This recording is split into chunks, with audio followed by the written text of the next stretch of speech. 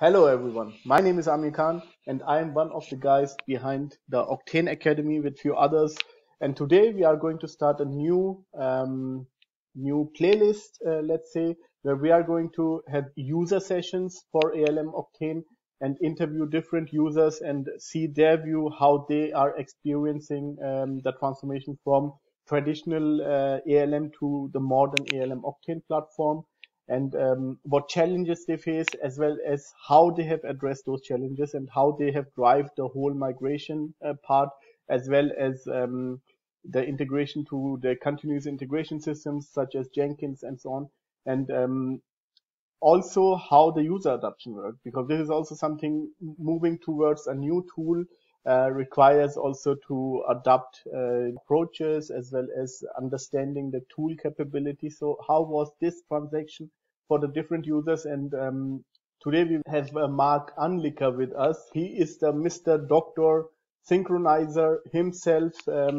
very known in Switzerland as well as in the DACH community. So he has been contributing to the Swiss testing community quite often, as well as to the Embrace uh, DevOps community in Switzerland.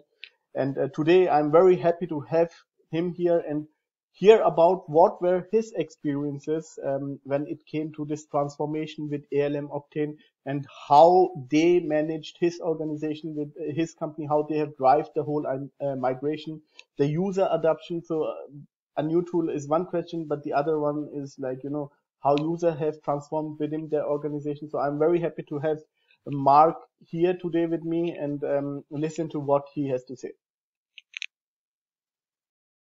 So finally, we have him with us, uh, Marc Anliker, also Dr. Synchronizer. Thanks for being with us, uh, Marc, and really super excited to have you on uh, this user session. It's the very first user sessions, by the way, and um, listen to you and your experience, what you have uh, done so far with ALM Octane. So first of all, warm welcome uh, and um, happy to have you in this session.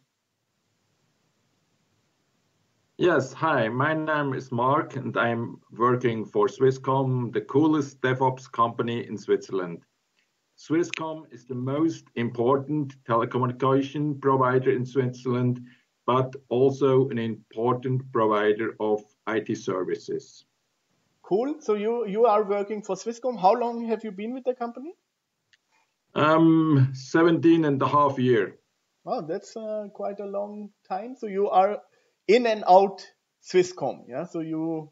Yeah, but I'm um 30. I have a 30 years experience in IT. Uh, um, at all. So I'm dev- I was developer. I was application um, specialist. All kind of things you can be in uh, in IT. Ah, very nice. So this is really so you have seen uh, the whole uh, spectrum of application lifecycle management. Um, so tell us uh, something about your current role. What are you doing at uh, Swisscom? Well, I and the team I'm working in is responsible for the um, um, for running ALM, Octane, um, Load Runner Enterprise, Performance Center, and all kind of uh, of other tools in this micro focus portfolio. Okay, so but you are taking some other tools. So you are taking care about uh, tools within Swisscom, tools which are maybe for the quality management, yeah. It is within Swisscom, but we are also running um, ALM for other customers. Oh, so okay. not Swisscom customers. So it's a service provider. Uh, yes. Okay. So very nice. So uh, you uh, you know you have been a really um, a expert on ALM QC, and that's also why I'm so excited uh, to have your feedback. Um, you have been intensively working with uh, ALM QC, setting up the synchronization, but also you know you were always one of the expert when it came to workflow scripting and also the understanding of the QC modules, test plan, test lab, defects. Um, mm-hmm. So now you have doing, you are in between of the journey to ALM Octane. So what are the differences uh, when you look on both sides and uh, where would you say uh, things has been improved? Well, there are some major differences, I would say. Yes, the the most important um, difference, in my opinion, is that it is that Octane is fully supporting the DevOps and Agile processes. Mm-hmm. So um, in ALM, we can run um, waterfall projects, but in Octane, we can also run waterfall projects, of course, but the full agile and DevOps processes are supported, and that is, I would say, the the most important advantage. Of of course, we have um, differences, but the differences between ALM and Octane are mainly in the administration or customization of uh, workspace and um, don't really affect a user. Um, if a user if a user is experienced to work with defects in ALM, he can immediately continue to work with these defects. Um, in Octane, it is not really a big difference. Okay, so this is a very interesting point, and I wanted to come to this later, but let's tackle it now. So, um, people who have been using ALMQC in the past, um, so you say the adoption towards Octane, how is it for the users? Is it uh, do they need to do a separate, you know, a complete uh, training for two, three weeks, or how is the adoption, or how have you driven the adoption so far? I can only speak for the users I know in Switzerland uh, or in Swisscom, sorry, and um, re they really don't need a special training. They mm -hmm. just um, move to from ALM to Octane and then continue work with with with Octane without further training, and that was really an ex amazing experience for for myself because I thought, well, they will ask a lot, a lot, a lot of questions, but they don't ask any questions. They just continue to work. I had um,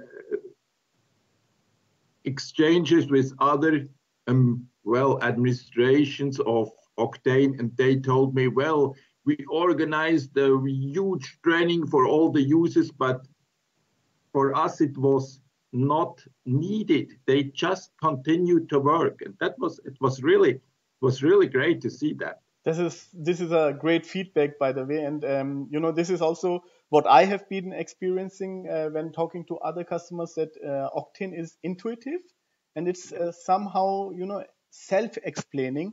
So when you have worked in the context of testing or in context of quality management or application delivery, it seems like you are intuitively understanding how it works. Yes, I think, and the the tool is is um, integrated. All the parts of the tool are integrated, and that makes it easy to work with with the tool. I think. You have the connections between a defect, the test, the uh, user story, and so on. That is all integrated and all linked one to another um, item, and that is a really great advantage. Yeah, so the whole traceability you say is um, completely, and it's very similar to QC because QC's strength was also, you know, having the whole traceability covered, and uh, I think this is embedded in Octane as well. Yes, even when you are migrating from ALM to um, Octane, the whole traceability of these um, requirements when we are talking to requirements for instance mm-hmm. because we have their traceability matrix the, this traceability is also migrated mm-hmm. but of course we have additional item types um, epics features uh, user stories and tasks and they help us to work in a agile way mm-hmm. So this is um, that is the big difference. Yeah, definitely. So have you adapted it, or because I know you have been doing the migration, right? So you have migrated QC projects, and uh, correct me if I'm wrong, but you have uh, actively migrated QC projects to Octane project. Can you explain how how have you planned the whole migration as well? Have you involved the users? Uh, how were the different stages of the migration? Can you elaborate on this? Well, we have not yet migrated all the ALM projects. Mm -hmm. We are um, in the middle of the migration, I would say.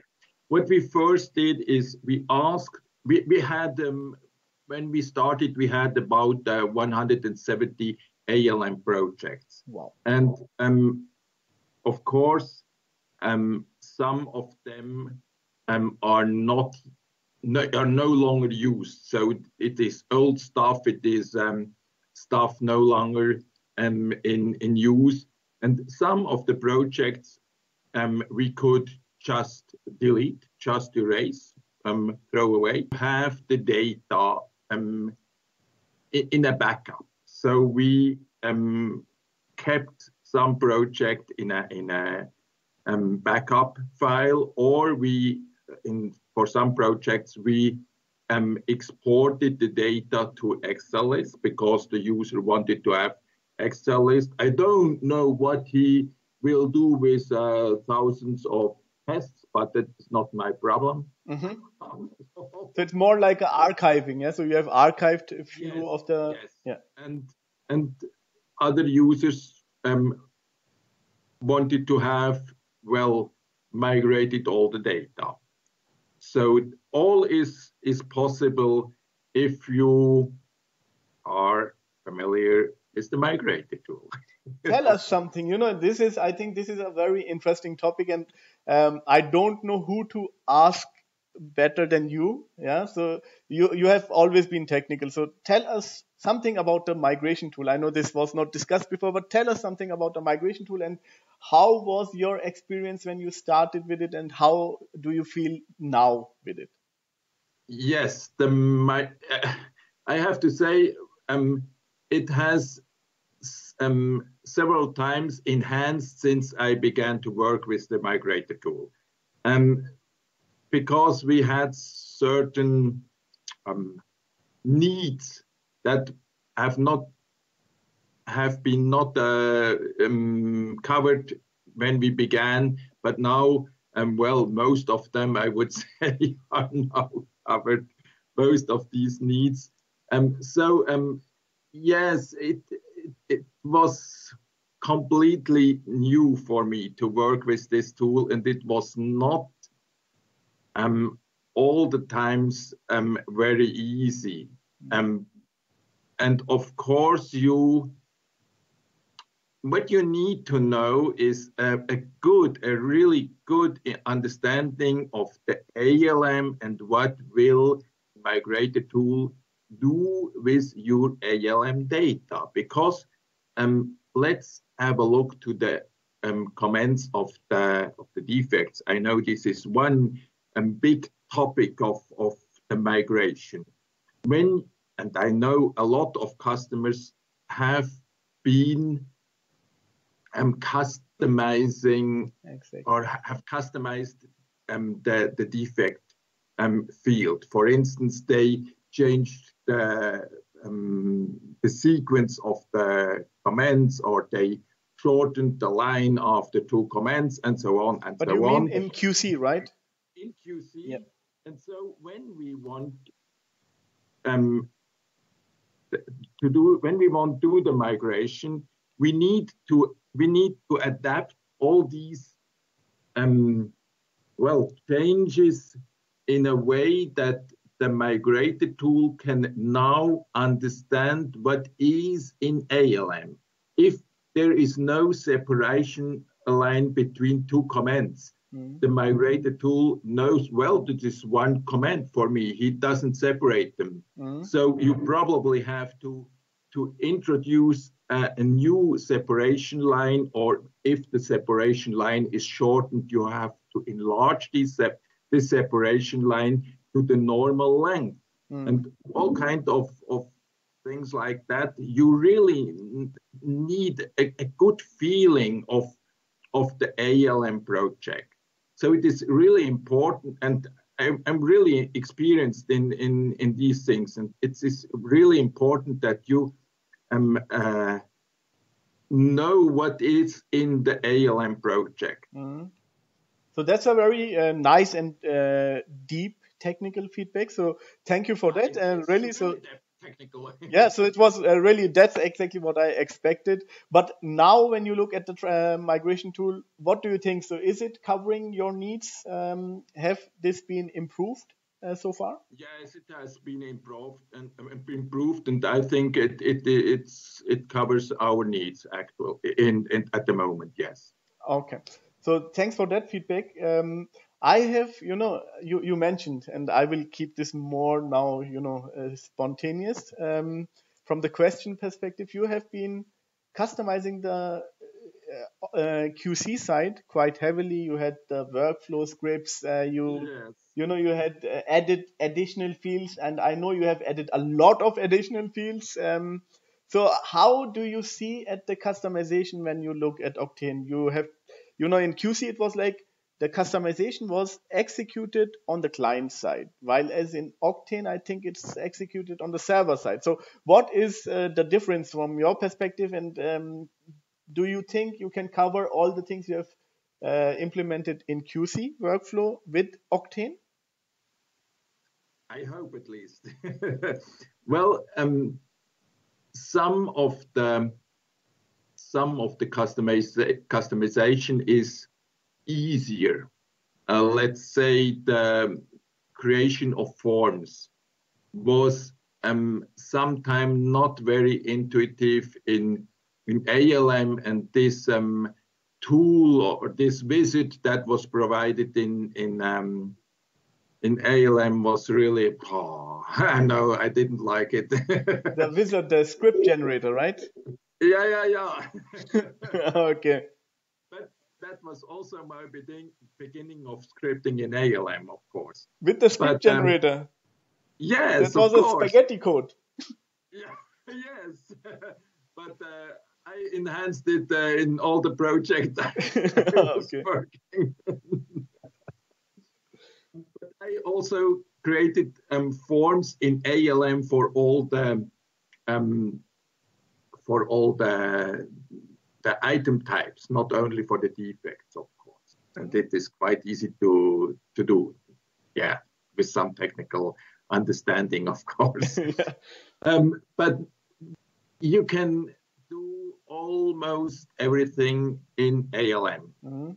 So I'm I'm not yet. I don't know yet um, how exactly I can um, well adapt all the reportings we have uh, in ALM to Octane. So we are not finished with the migration. Mm-hmm. We, we have a lot to do, and a lot of the work is migrate the, the customization, migrate the um, well there are no longer scripts as they have been in ALM, but they are probably external actions or mm-hmm. um, are webhooks and so on. So it is really you have to to change your thinking. You have to change your manner to work when you are an AL when you have been an ALM administrator and are now an Octane administrator. That is really a difference. Yes. But you know, um, uh, I don't want to, I'm an old man, I know, but I don't want to work um, 10 years longer as I worked um, until now. I, I want to, to adapt new things and I want to, to help people test or um, having their um, uh, application life cycle easier. Yep. And that is my aim. I want to to to cover with the with the tool with Octane. Yeah, so that's a, a very nice feedback, um, Marc. But also, you know, um, you cannot continue to work in the same manner. Um, we have a very nice OData interface as well as the, I, I think it's one of the fastest interfaces uh, with REST API. Have you explored this a bit as well as the business rules? I, well, um, for the business rules, I can say I'm fully familiar with them. Mm. So I make business rules for, um, let's say, um, mandatory fields. Of course, that is one of the. Uh, I can I, I can only do it with with the with rules, or I have created the rules to to really hide defects for for one or the other group of users and so on. So data hiding in the def on of the defects is also um, I, am really familiar with this, and that is one um, very important point for our customers. So for internal users and customers, external customers. So and that is, is really important that we can do it. We can hide um, some defects for some user groups. That is really very, very important. Mm-hmm. For um, and that is for these um, these rules. And what was the other point you mentioned? Um, REST API and OData. Yes, I began to work with REST API, but I'm well, I'm not as far as I wanted to be at this moment. yeah. Okay. Honest feedback. And uh, OData, have you looked into this? Because OData, you know, it um, can be very helpful. Yes um, we have some problem. We can see OData, but we cannot make it in, in Excel. We can only um, um, see the data in the browser. So th there is a problem we have not yet solved, but okay. we are on the way. Okay. We are on the way to, to, to solve all these problems. I'm I'm convinced that we can solve them. Definitely, me too. So now, you know, um, also looking at the time, um, when you look at ALM Octane, yeah, so what would you describe or how would you describe the learning curve? Because also for you as a user, how I, I think you have to learn a few things like business rules and so on, especially from the administration part, but also from the project work, like you are working in a workspace. Uh, how is the learning curve? when you work with Octane? I would say working in a workspace or working in an ALM project is not a, really a big difference. Mm-hmm. I'm, I think you can do it. Mm, yes, you you learn it really fast, and that is not, um, really not difficult to learn. The the big difference, and um, well, that is um, not so easy probably is for the administrator for customizing the work, uh, um, the workspace, the, the, space. If you have a shared space, you have to understand this. Um, what is a shared space? What is a, um, a workspace? And you can um, set make settings on the site on on the site level, on the workspace level, on the space uh, space level. So that is really um, you have to understand the the hierarchy hier hierarchy of of your system. So mm -hmm. that is probably um, yes uh, makes the difference, and the administrator really has um, probably has a lot to to learn, but the user the the project user I think it is not really, um, there are not a lot of things he have to learn. Of course, if he himself want to use um, um, REST APIs and so on, that is a difference. If he wants to use um, additional tools like um, LoadRunner, uh, UFT, and so on, they the integration of these tools to Octane is um, quite different from the integration exactly. in ALM. So that he has also to to adapt, of course. Mm-hmm. Definitely. So by the way, the sun is shining. It's uh, quite nice weather. Um, so it's uh, very nice. You know, one last question I have for you, uh, Marc, and uh, really thanks for being so honest here and uh, straight to the point. Uh, wh- what is your favorite feature when you look at ALM Octane? What is your favorite feature if you have to select only one? Only one. Well, uh, that would be a, a, several, of course, but the, the, most important for me is the Kanban board. That is really missing in ALM and in Octane. We have a lot, a lot, a lot of possibilities with Kanban board, and, and I really, I really love it. So, do you uh, use it uh, internally? Yes, of course. Yes, we are using it really in in our daily work. As the Octane administrators, we are working in a in a DevOps mode, and we really use this Kanban board. But also other users are um, are using the, the Kanban board. I think that is really important.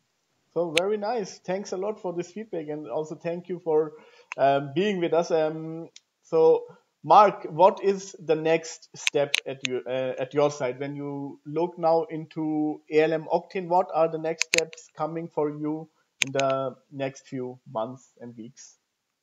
Well, of course, we want to finish uh, the migration. We have not yet finished, I told you.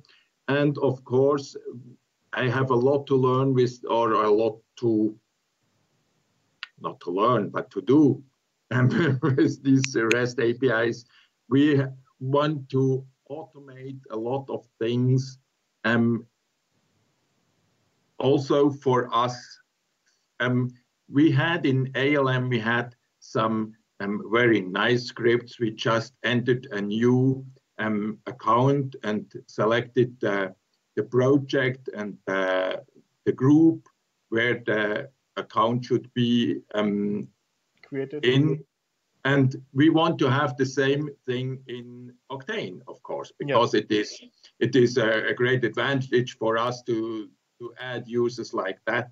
Mm. So that is one one of the of the well of the scripts we want to have, but also other scripts. I we I told you we have a, a script that is, or we have some scripts, but one script um, is really um, doing a lot of SQL um, queries and writing in Excel, and I'm convinced that um, I will be able to to migrate this script or the creation of this report to to some well to to the new way of working i would say exactly so, using the new uh, protocols and so on yeah yes and we will probably um, use the um, webhooks to to write data um, when they um,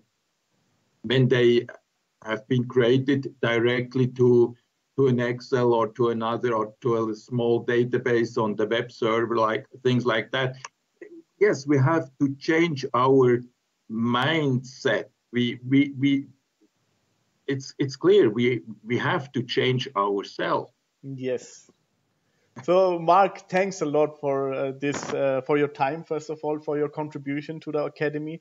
Um, I know that many people would like to have more information, so I will definitely invite you again in a three months or four months uh, time frame to see what are additional inputs you can provide to the community as well as if uh, people are interested to connect with you how can do they do this if they want to talk to you about migration and um, learn maybe from your experience. How can they contact you? Is there a way to maybe from LinkedIn to get in touch with you?